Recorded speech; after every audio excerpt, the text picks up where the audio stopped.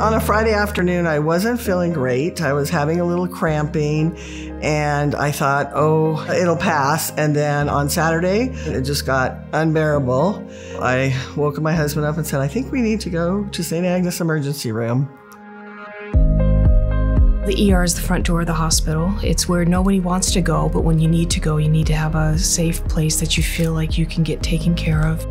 Our ED was originally designed for about 40 to 50,000, and now we're approaching 90,000. We are number two in the state of California for EMS volume. And so we are there treating not only the acutely ill, but the patients that just don't have any other options. So once I got checked in and they got me into a bed and they ran a bunch of tests, we found out that it was my appendix. My ER doctor called Dr. Narahari, and she came in and did surgery. Then, when I met with her afterwards, she told me it was very serious. It had ruptured sometime probably that afternoon. And if I hadn't got the great care I got at St. Agnes, I might not be here today.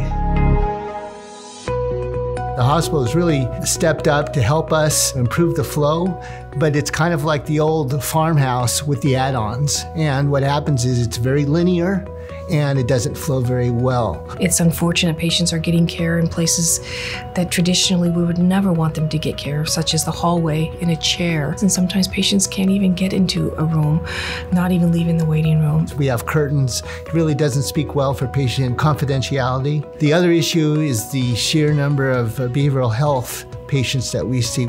When I first started at St. Agnes, we would receive one behavioral health patient a month, and that was a big deal. We are now approaching sometimes 15 to 18 a day, especially with the fentanyl epidemic. Keeping them in in an environment where there's lots of lights and sounds and so forth, it just doesn't really work well for them. We need to design a place in the ER for these patients.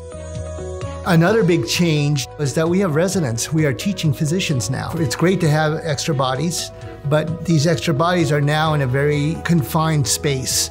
We would love to have everybody have a stretcher, have a space where they can be comfortable, but that's just not possible. We move around with little computers on wheels and we're shuffling patients back and forth. We are also physically moving patients ourselves. It's not real efficient. We need a new ED. We need to start from ground up. Renovating this ED is just not an option because the sheer volume of patients that are coming through.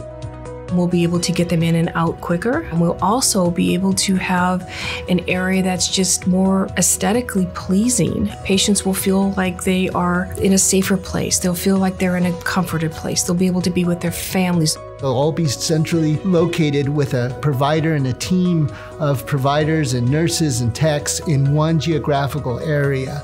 And that'll make us a lot more efficient. We've talked to the staff about the remodel, and they're extremely excited because they understand the constraints and what we can and cannot do in our space. It'll be less chaotic, it'll be more healing, it'll be more of an environment of health versus an environment of stress. In my experience, I haven't really spent much time in an emergency department, but at some point, a family member, a friend, or somebody is going to need it because it was amazing and saved my life. If we have an expanded, more modern ER, it's really going to help serve the community.